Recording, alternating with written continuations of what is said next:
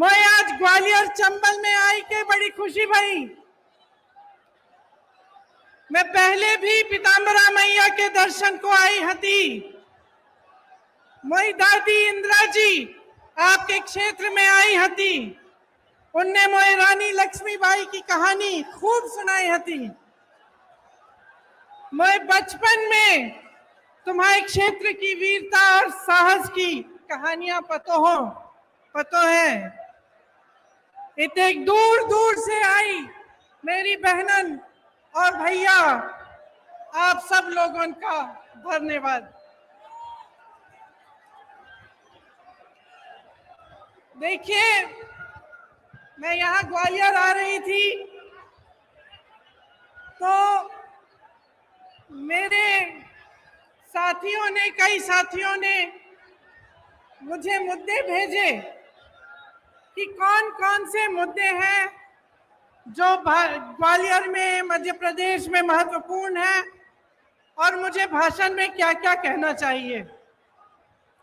जब मैं उन मुद्दों को पढ़ रही थी, उन सुझावों को पढ़ रही थी तो मुझे लगा कि ज़्यादातर नकारात्मक बातें थी। और मेरे मन में ये बात आई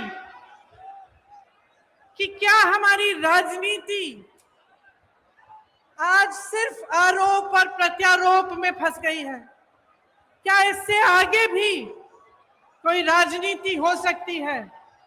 इससे बढ़कर भी हम कुछ ऐसी बातें कर सकते हैं जो जनता की मतलब की बातें हों। देखिए, भारतीय राजनीति की नींव स्वतंत्रता के आंदोलन से मैं डली थी। स्वतंत्रता का जो हमारा आंदोलन था, उसे सत्याग्रह का नाम दिया गया था। तो सत्य की लड़ाई थी।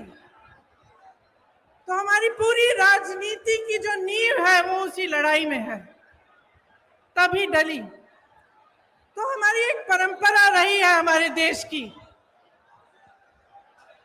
कि हम नेताओं में सभ्यता, सरलता, सादगी और सच्चाई ढूंढते हैं।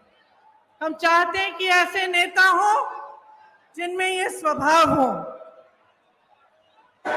और इसी के पर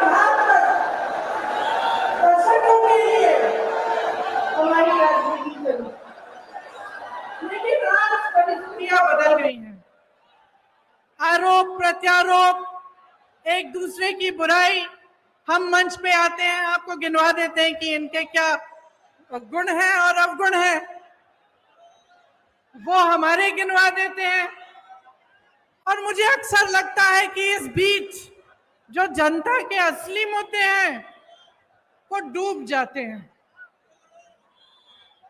आजकल शोहरत बड़े बड़े बिज़नेस वालों को देश की संपत्ति सौंपने सौंपने की राजनीति अहंकार